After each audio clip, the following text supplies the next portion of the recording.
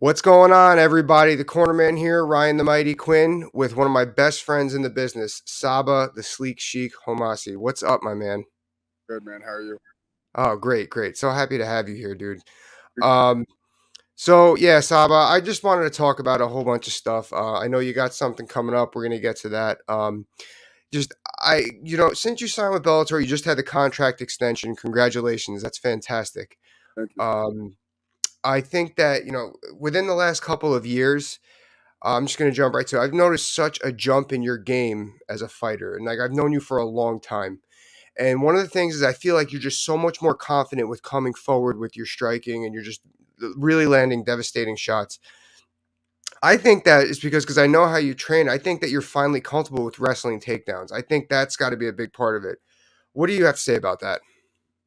Um, no, I think it's, you know, I say this you know, time and time again. More of like a maturing mentally thing for me. You know, I, I think I'm, mentally I need to be where I'm at right now. Um, it started coming together to me when I was like 30. You know, everything just started clicking, and I was be, being able to perform the way I do in the gym in my fights, and I'm just being more comfortable in that manner. So, um, yeah, man, my the whole striking aspect and everything, I'm just uh, more comfortable in there. I'm more loose. I'm more myself, and that's why I'm having these outcomes. Yeah, man. You know, uh, and you say just maturity and stuff like that. And you, you've been thrown into situations where you've been in fights that were somewhat over your head. And in those aspects, it's really tough to grow in those aspects, other than you know that you've been in there with someone. Like, um, because nine times out of 10, like me, like whenever I fought somebody over my head, I was going right back to my comfort zone. I was shooting takedowns, just trying to take them down nonstop. Right. So, um, I, I, I think that, you know, for lack of a better word, that kind of might have stunted your growth a little bit on. I mean, and I like you said, I know you train with everybody. I, I seen you at the gym. You you don't you, you don't pick and choose your partners. You're there for everybody. You're learning from everyone. And um, yeah, I think that's coming into fruition now. So yeah, I agree with you. You're definitely maturing. Um, well, I mean, how, how much do we really mature? But uh, you're definitely maturing. Right. Mhm. I mean, it's like uh, Um, what was that?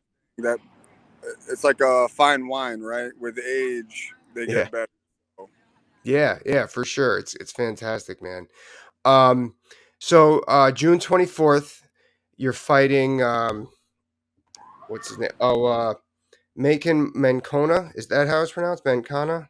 I believe uh, it's pronounced Mendoza. Uh, the C is like pronounced as a, Oh, a Z. okay. um, from what I hear, because I watched his last fight and the way that the announcers were announcing him was uh, Mendoza. So I don't know how to pronounce his first name, but Well, I get that because the second N in my last name is silent too, so it totally Oh. makes sense. yeah. um, but uh, so um, that's actually a big night for ATT. But I see here, you know, you both fought Jaleel White. What was it like fighting Steve Urkel? No, Jaleel Jaleel Willis. Um, Um, so, uh, but other than that, what do we know about him? I just know he's a striker, um, purple belt in jiu-jitsu, which, Okay. you know, I don't.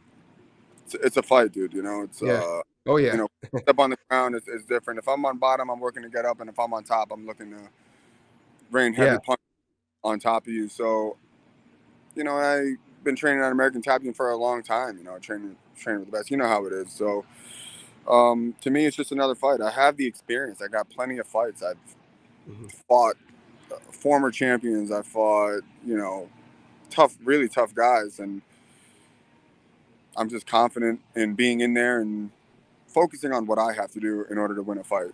Not yeah, not on what the other person is doing at the end of the day because I just got to focus on me. yeah. You know, it, and you got me saying when you said purple belt in jiu-jitsu, it's almost like who's not a purple belt in jiu-jitsu when you're fighting Right. professionally these days. so, um, uh, so yeah, so I know exactly what you mean. I mean, and we that's a whole nother interview talking about um, translating jujitsu and whatnot to fighting and everything like that. You're definitely in the best place in the world when it comes to training MMA and knowing that game. But uh, yeah, so so that's up in Mohegan, right? Uh, late June. Yeah. So that's also the same night as uh, Danny Sabatello and Johnny, right? Johnny Eblen. Yep. Johnny Yeah. Eblen for the title. He's fighting uh, Mousasi, and um, we have, including myself, there's six guys. From the gym. Six. Wow. Yeah. Wow. I miss those. Those were always the best days when we had a lot of guys in the card. You know, it's Right. just there. Really, it's fantastic. You know. Yeah. And then it's the best when everybody wins. Yeah, that's that's awesome. Who else fighting on the card? So we have me, Johnny, Danny, Killies. Um, I believe his name is Alexander, and one more person. I'm having a brain fart here. I could look it up. Oh, I know that dude. No, I can look it up. I can look it up. No, man, that's awesome. I- the other day, dude. It's six people. I'm like, wow. This. I love when we have multiple guys on a, on a card, so it's good. Yeah, the weigh-in dinner's always fun. You know, if you like, I mean, I think you're like me. I always got like a small workout in the day, of the morning of fight day, like just to sweat out a little bit, like just like five, ten minutes. Uh, you could do that with somebody. There's just there's you can go for a walk. There's a lot of stuff to do. Sometimes I feel like when I was by myself, I almost felt like I had to babysit my corner. Not that they ever needed that, but I felt like, oh man, they're here for me. I got to make sure they're comfortable, and like I just feel like Trying that off. Yeah, yeah, yeah. So, but um, man, you know, hey, listen, bro. You know, you know, think the world of you. If, if you can ever use a, you need a warm body to come try and grapple. I mean, my striking probably sucks now. I haven't done it. Not that it was ever any good to start, but uh, please let me know, man. And I'm always I, I need an excuse to get back in the gym. So, but uh, we're looking forward to the fight, June 24th. Everybody tune in. Sabah, the sleek Sheik, Huma, sleek Sheik Homasi, and the rest of the ATT crew for Bellator. Later, brother. Later, man. Thank you, Ryan. Thank you.